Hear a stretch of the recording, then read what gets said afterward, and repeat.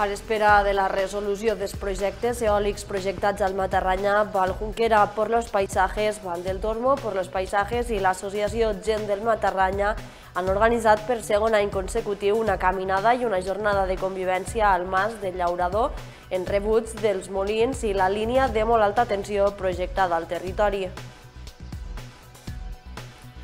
Benvingut a l'informatiu al dia Territori Sènia d'avui és dimecres 24 de maig. Avui, a més d'aquesta notícia, també destaquem altres titulars importants de les nostres comarques.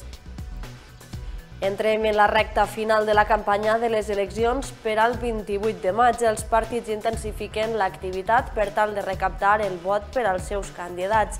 En posta, per exemple, este dimarts al vespre, els candidats van participar en el debat electoral organitzat pel Col·legi de Periodistes. En l'informatiu d'avui parlem d'aquest debat, també de les propostes presentades per la CUP Tortosa i les de Movem Tortosa PSC i analitzem l'escenari polític a la Terra Alta. La cooperativa Banebre posa en marxa Teixin Esperances, una marca de roba que comercialitza per destinar els beneficis de mantenir els contractes laborals, especialment dirigit a empoderar les dones. Ara l'entitat busca finançament per acabar de desplegar la marca de roba i garantir l'estabilitat laboral de la xarxa que han creat. Vilafranca tindrà majorals per a les festes de la Verge del Llosà. Després de set anys, sense poder cobrir aquest càrrec, el pròxim dilluns 29 de maig els vilafranquins i vilafranquines podran celebrar la Pasqua del Llosà amb tots els actes, incloent-hi el convit del llet i rotllo perdut durant aquests anys. L'arquitecta i crítica de Deltebre, Eva Franz Gilabert, és la comissària d'una exposició sobre Picasso que acull els pròxims mesos la Casa Encendida de Madrid. La mostra aborda, sense embuts, els costats més foscos del Picasso.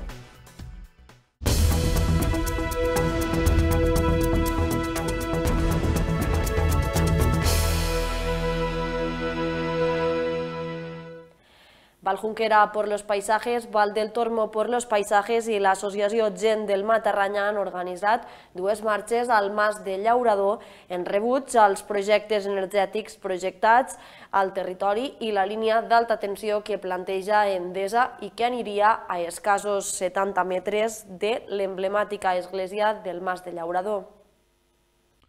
Lo despoblat del Mas del Llaurador ha estat lo punt de trobada de dos marxes senderistes simultànies. Les plataformes Valjunquera por los Paisajes, Val del Tormo por los Paisajes i l'Associació Gent del Matarranya s'han organitzat per a manifestar contra els molins projectats al territori i una línia d'alta tensió que planteja Endesa i que anirà a escassos 70 metres de l'emblemàtica església del Mas del Llaurador. Repetíem la convocatòria de l'any passat i simbolitzem que, pues, que no estem callats, que seguim manifestant que no volem los, los dos projectes eòlics que van aquí, que se solapen al territori, i que com encara no ha decidit la resolució, ni que sí ni que no, pues, eh, volem seguir, que, pues, que resistim, que aquí no, que no volem que els posen.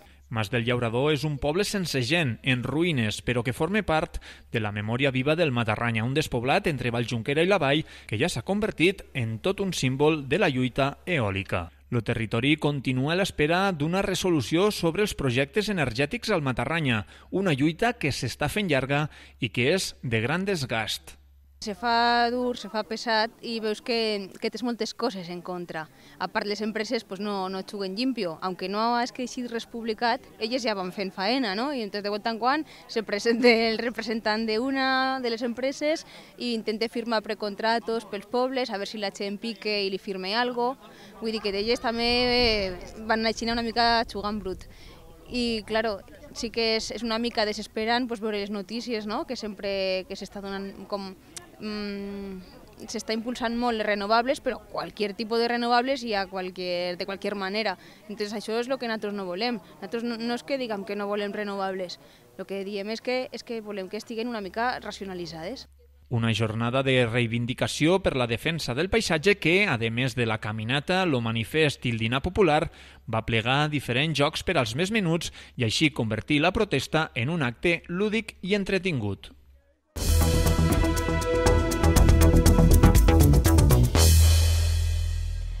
Avui ens fixem amb l'escenari polític que es dibuixa a la Terra Alta aquest 28 de maig. A la capital, Carles Luz, de Junts, des de fa tres mandats al govern, renova l'oposició. És una de les comarques més petites de Catalunya.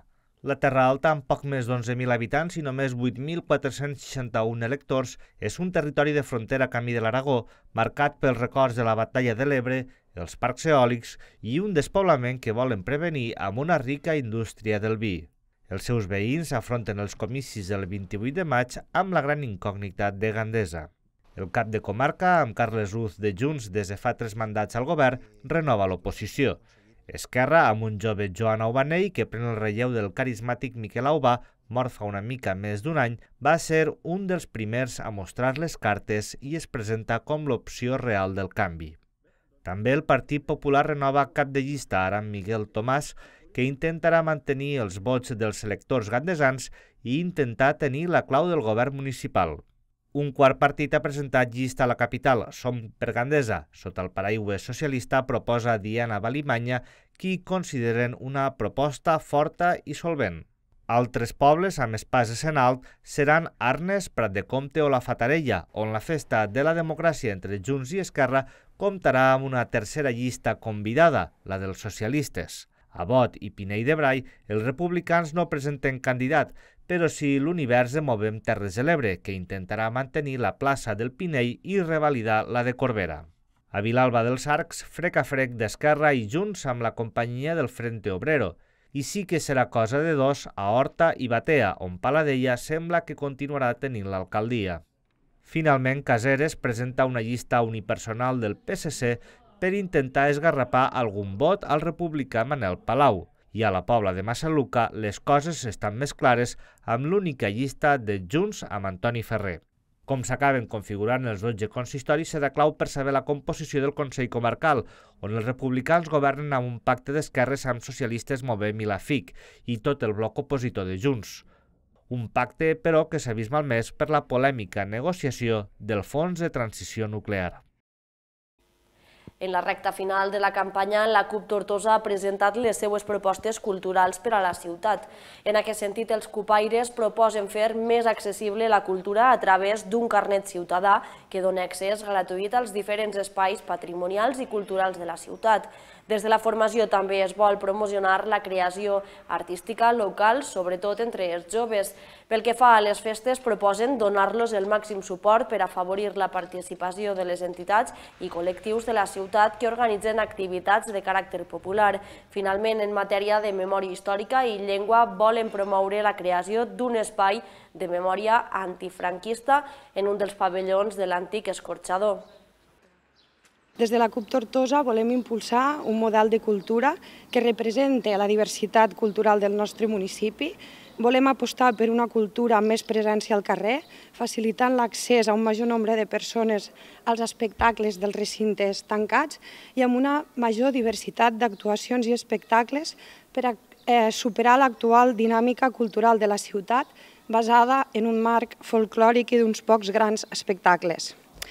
La CUP eh, prioritzem la cultura com un dels grans eixos de la nostra proposta política amb la idea de canviar totalment el model desenvolupat a Tortosa.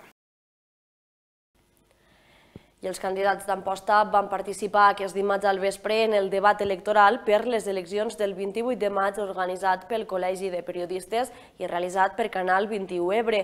Qüestions com el desenvolupament industrial i la gestió de l'Hospital Comarcal van tensar el debat, especialment entre l'alcalde i candidat d'Esquerra Republicana Adam Tomàs i l'exalcalde i candidat de Junts Manel Ferrer. El desenvolupament industrial i la gestió de l'Hospital Comarcal van ser els temes més polèmics del debat entre els candidats a l'alcaldia d'Amposta, un debat organitzat pel Col·legi de Periodistes i realitzat per Canal 21 Ebre, que va ser la televisió encarregada de difondre el senyal a la resta de mitjans de comunicació de les Terres de l'Ebre. L'alcalde i candidat d'Esquerra, Adam Tomàs, i l'exalcalde i candidat de Junts, Manel Ferrer, van protagonitzar els moments més tensos del debat.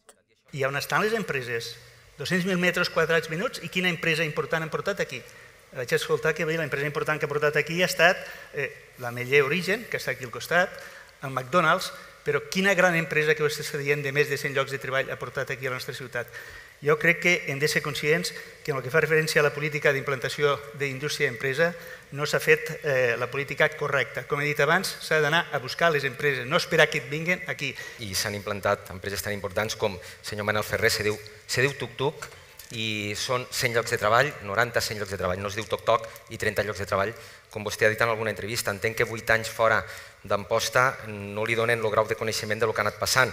En tot cas, eh, s'han ficat empreses molt importants, les naus de l'Amicat estaven buides, en mans del Banc de Sabadell, el centre comercial estava en del, en mans del Banc Popular, eh, s'ha ficat Manaïn, on estava Manaïn s'ha ficat Dominion, que ha creat 70 llocs de treball, i en total acabem sumant eh, al voltant de eh, més de 1.200 llocs de treball.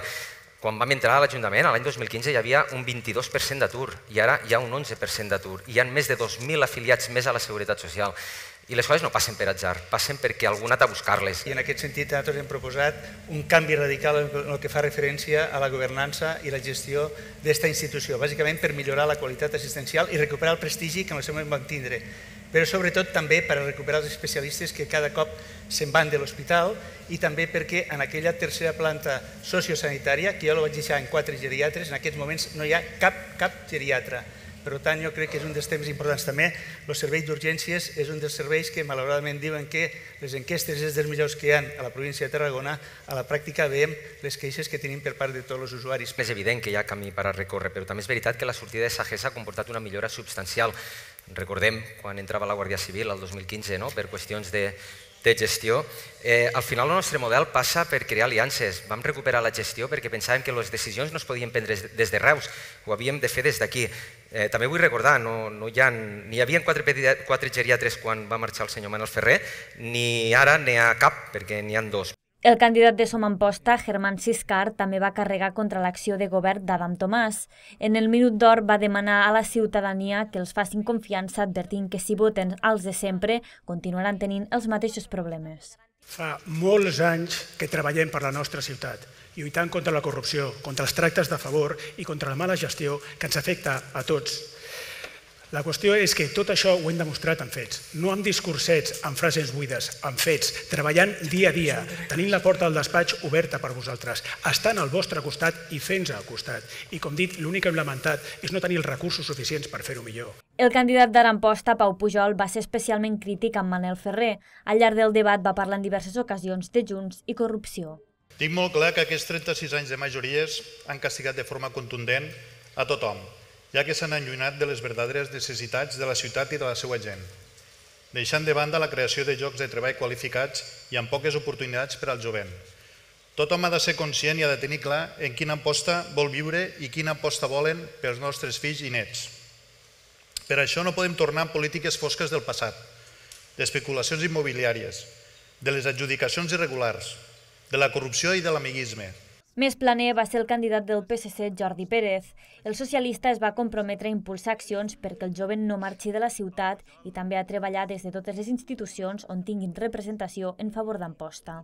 Nosaltres volem governar per un ajuntament que doni servei a tothom, eh, sigui de la formació política que sigui, per descomptat per, donar, per posar a la gent, a les persones davant de, de, qualsevol, de qualsevol problema i de qualsevol necessitat. Entenem també que som el canvi real a, a les polítiques que s'han fet fins ara, perquè som l'única força política que pot arribar a governar les tres institucions de, que hi ha en aquest cas, no? l'Ajuntament, la Generalitat i el Govern central, en el qual eh, tot és eh, molt més fàcil, som la força més, trans, més transversal i perquè volem treballar perquè els nostres fills no marxen del, del poble, tinguin oportunitats de, de feina aquí més de 8.700 persones van seguir el debat a través de l'emissió en directe i la redifusió posterior que va fer Canal 21 Ebre.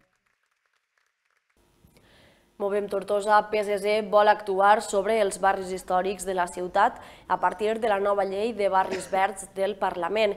En concret, la coalició vol impulsar la rehabilitació del Cal Jueu i els barris del Castell i Sant Jaume de Remolins. Segons la formació, unes zones oblidades pels governs convergents, tot i prometre la construcció de nous pisos per a joves. I la nostra aposta a Tortosa serà i és la rehabilitació del barri de Sant Jaume, la inclusió també del barri del Castell i del Call Jueu de Remolins, perquè pensem que és eh, precisament tota la zona no, del barri antic que no s'ha actuat eh, en diferència d'altres parts eh, del mateix. Un barri pràcticament destruït, un barri on només hi ha solars, el que volem és rehabilitar-lo, impulsar la construcció de més eh, habitatges i fer, per tant, que torni a tindre la vida que ha perdut en les últimes dècades. Volem ajudar tot el veïnat el que fa, pel que fa a la millora de les façanes, a la rehabilitació d'edificis. També volem treballar en el marc d'un programa de masoveria urbana. En aquest sentit, el que pretenem és que la gent posi a disposició de, de la ciutadania les cases que es troben en mal estat per fomentar eh, la seva utilització i la seva rehabilitació. També volem treballar eh, en el marc de la instal·lació de, de plaques solars tèrmiques i també en l'aposta de les subvencions eh, en eficiència energètica. Ja em van presentar el dissabte passat algunes mesures concretes i, evidentment, i per últim lloc, el que volem és ampliar i modificar, ampliar i millorar, perdó, les bonificacions dels impostos d'obra.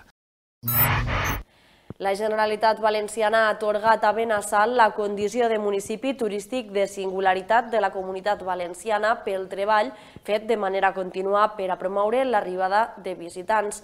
L'organització d'activitats turístiques com les mostres de l'Avellana i la Tòfona o la Fira d'Oficis que s'han convertit en fonamentals per a l'economia local. Aquest distintiu reconeix també els recursos turístics amb què compta i el respecte en tot moment del Codi Ètic del Turisme Valencià. A més, recentment, l'Oficina de Turisme de la localitat ha rebut la Q de qualitat turística atorgada per l'Institut per a la Qualitat Turística Espanyola i la Secretaria d'Estat de Turisme del Govern d'Espanya. Aquest reconeixement a l'esforç per a millorar el turisme a Benassal demostra la seva aposta del turisme com a motor econòmic i generador d'ocupació i oportunitats. Abanebre s'ha convertit en la cooperativa social més gran de les Terres de l'Ebre.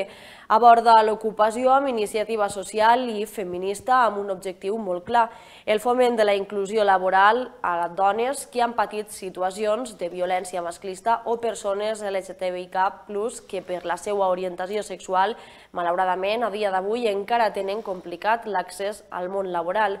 Un dels projectes que tenen en marxa és Teixint Esperances, una marca de roba que comercialitzen per destinar els beneficis a mantenir els contractes laborals d'aquesta vessant social de la cooperativa. El projecte que desenvolupa la cooperativa va especialment dirigit a empoderar les dones obrint el camí de la reinserció sociolaboral i crear comunitat entre les que no tenen contacte amb altres dones. Ara l'entitat busca finançament per acabar de desplegar la marca de roba i continuar comercialitzant les peces per a garantir l'estabilitat laboral de la xarxa que han creat. Teixint Esperances és un projecte que naix arran de, de que ens veu una senyora eh, demanant-nos suport i, i ajuda i que l'orientéssim una miqueta que havia patit violència mm, de gènere i es va trobar que al moment de separar-se del seu marit eh, no tenia cap recurs econòmic per poder ella solventar-se, no? O, o sigui, ser una persona autònoma. Dia que tenia una sèrie d'ajuts, però que ella no volia ajuts, ella volia ser una persona autònoma, treballar i ser ella la que es guanyés la vida. Li van preguntar què és el que sabia fer i ens va dir que sabia cosir, però que sabia cosir molt bé, o sigui que se va saber vendre molt bé. I a partir d'aquí vam pensar, ostres, sí que és una, un ofici com a molt feminitzat, però que podem empoderar les dones els parlem ara de Llepa, un projecte que va néixer l'any 2020 a la Mata. Després de moltes receptes, cates i tallers, naixia Xiqueta, la seva primera cervesa. Els seus creadors, Ximo Conesa i David Ferreres, van emprendre aquest projecte arran un taller a Barcelona per aprendre a fer cervesa artesana tres anys després han aconseguit començar a comercialitzar-les. Ara treballen com a brewers nòmades produint les seues receptes a una cervesera artesana certificada d'Albacete.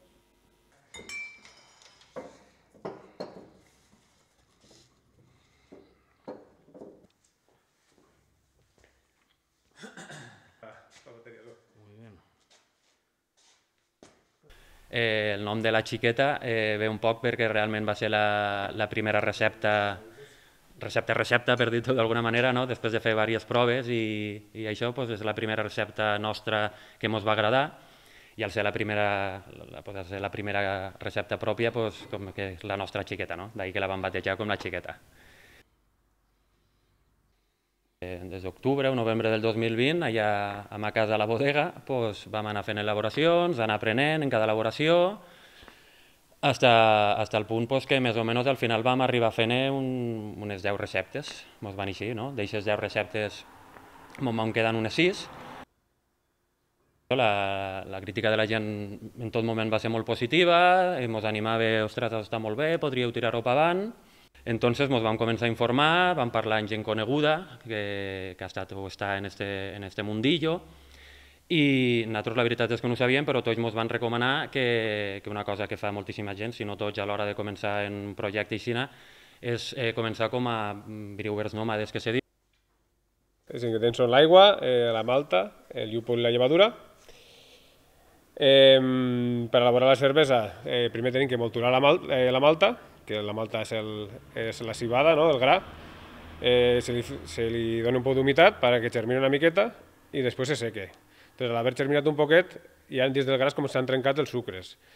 Entonces, una vegada tenim això fet, diguem, entonces se moltura el gra i d'aquesta molturació això ho fiquem a, a una olla, diguem, en una aigua calenta durant sobre una hora, hora i mitja, macerant i aquestes coses, no? l'aigua en la malta. Al fer la maceració, entonces, durant aquest temps, li traiem el que són els sucres i, i, el, i els sabors de la, cerve, de la malta, entonces ja tenim un mosto, i aquest mosto després es, es fa una cocció, no, se, se bullís, se, se cuitís. Durant aquest procés és quan s'afegeixen els llúpols. Els llúpols el que fan és donar-nos amargor i aroma. Una vegada ja hem acabat aquest procés, eh, ja que gelar la cervesa, perquè la, la cervesa tenim l'embullit, està sobre 90 graus, ja que baixar-la lo antes possible a sobre uns 20 graus, una vegada la tens ja a una temperatura sobre 20-25 graus, l'afegis la llevadura, que la llevadura el que fa és menjar-se el, el sucre que hi ha dins del most. En el procés este de que ell està menjant la, lleva, la llevadura, està menjant el, el sucre, produeix CO2 i, i alcohol eh, pues ella sol treballar sobre 7, 10, 12 dies, segons el tipus de recepta, segons la densitat que t'ha tret, no? segons el sucre que té. I una vegada diguem, que acaba de, de menjar, no? eh, ja, ja, ja s'ha creat l'alcohol i, i, i ha fet el CO2, ja tenim que passar a, a l'embotellar-la. I un poc, pues, això, pues, no res, nosaltres anar aprenent i, i anar fent cosetes. Davant.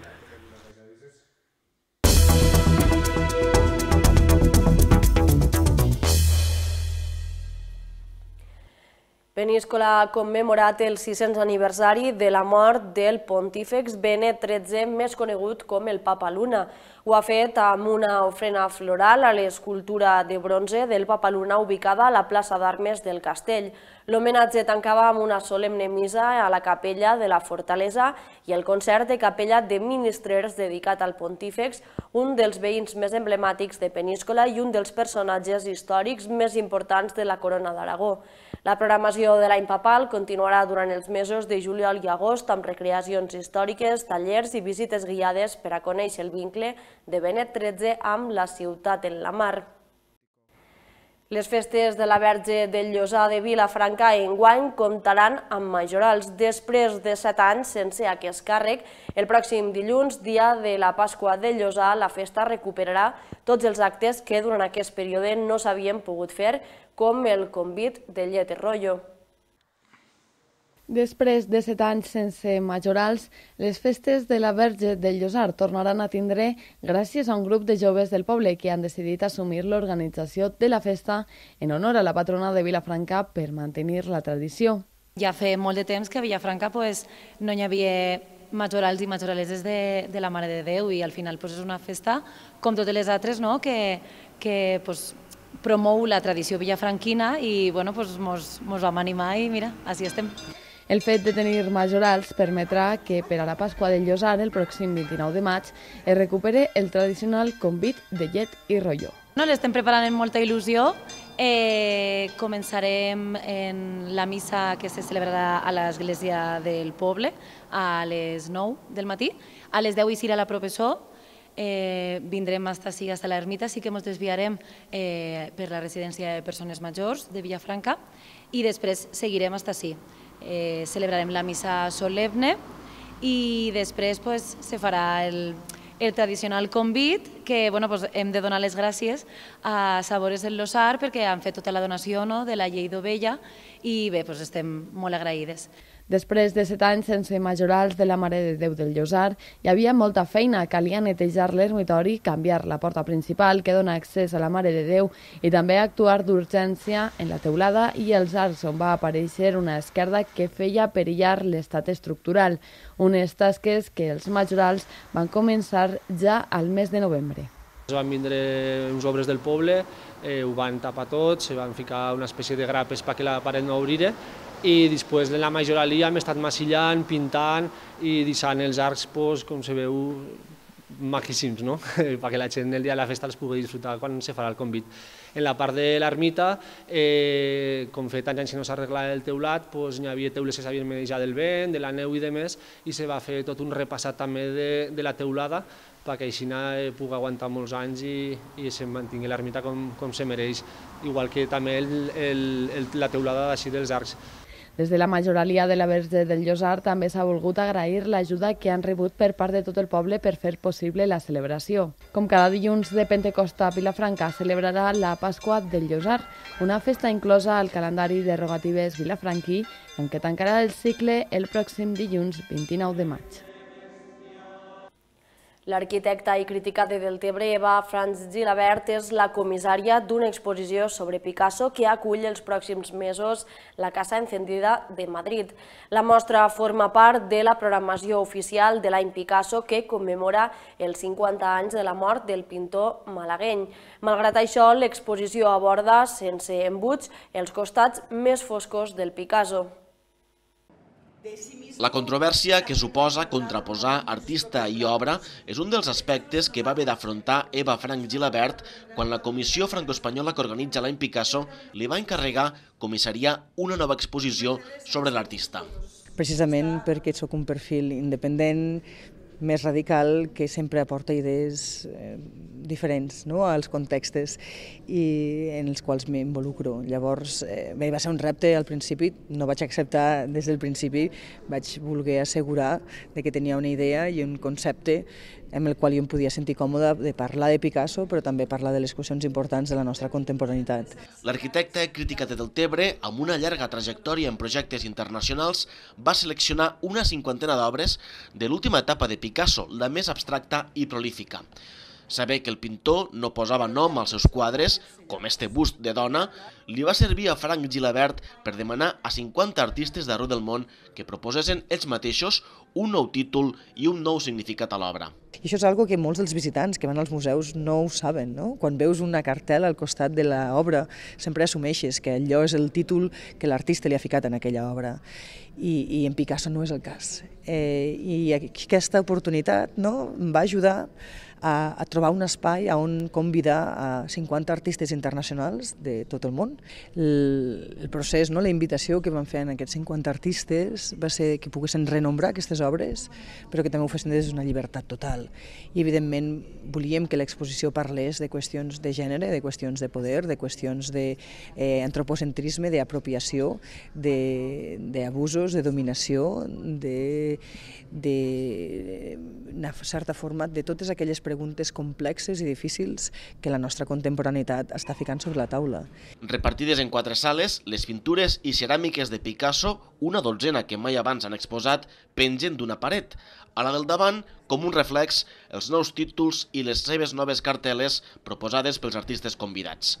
Alguns fan una relectura artística, d'altres critiquen sense embuts els aspectes més controvertits de Picasso, com el seu comportament violent i misògin.